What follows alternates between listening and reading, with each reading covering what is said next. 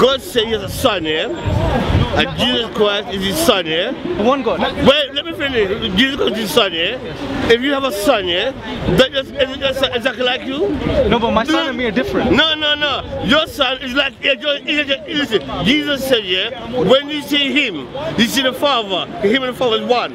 See, him and the Father are one. Yeah? You and your son is one.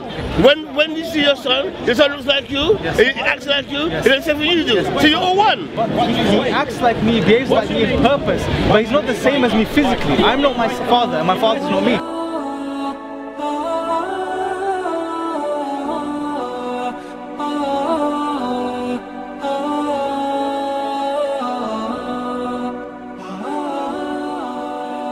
Brixton is a very lively community. It's a very lively community.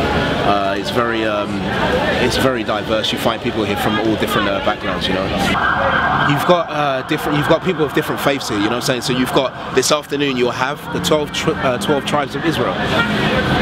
You've got those individuals that, that, will, uh, uh, that will set up here. You've got Socialist Worker Party that will set up here. You've got the Nation of Islam. They have uh, they have their uh, uh, they have their they have their spot, and they give dawah here also.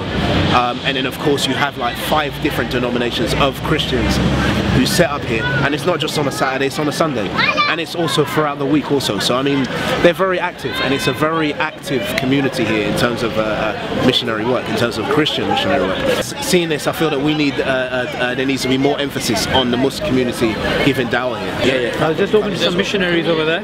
Well, the thing is, Uh, these guys were so adamant in their beliefs, they're refusing to listen to even the most basic things. Like, So there's- I was speaking about how the Bible's been changed. It's obvious, right? There's loads of evidence for that. They were like, no, no, it's not been changed. They kept. I mean, I showed them that Jesus, you know, logically it doesn't make sense that he's God, that he's a human being. Still, you know, they weren't listening to that. And the thing with them is, everything's centered around the Bible. It's all about the Bible, Bible, Bible. Seriously. But the key to this is to get them to understand the Bible is not reliable. One, two, not everybody believes in the Bible. So they automatically use it as evidence. The evidence that the Bible is from God is the fact that the Bible says so. So um, it's quite difficult to talk to them, but at least we get our message across that you should worship God alone.